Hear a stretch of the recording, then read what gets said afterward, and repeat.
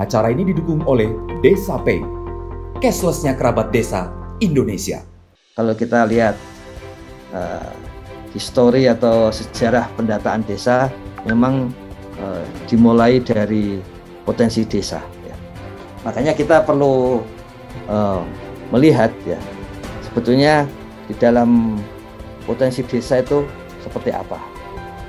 Jadi uh, semuanya berkembang semuanya berkembang termasuk uh, kuesioner potensi desa itu baik isinya maupun uh, strukturnya uh, semuanya itu berkembang. Nah, misalnya contohnya supaya kita punya bayangan ya, itu paling tidak sejak uh, 10 tahun lalu itu bahkan podes potensi desa itu dibedakan antara kuesioner level desa, ya, kuesioner level kecamatan, dan kuesioner level kabupaten. Perlu kita cermati bahwa level terbawah kuesioner itu adalah desa. Nah, mengapa ada kecamatan?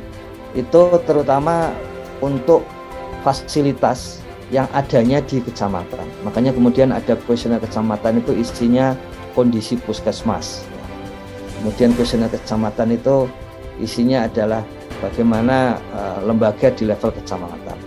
Kuesioner kabupaten itu apa? Misalnya museum. Kalau museum itu ada di desa, maka dalam sudut pandang uh, ini dia adalah kuesioner kabupaten karena dia dipakai untuk banyak kecamatan.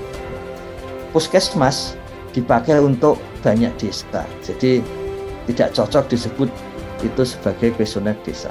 Seharusnya itu punya konsekuensi pada pengukuran. Dan memang dulu seperti itu yaitu desa yang ada puskesmasnya itu kemudian ukurannya tinggi.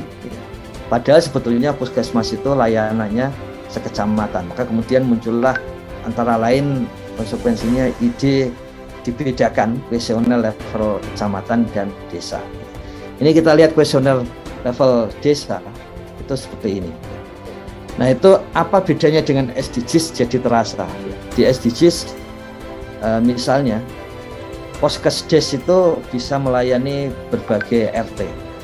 Tapi di dalam kuesioner SDGs uh, kita perlu mengetahui Poskesdesnya ada di RT mana.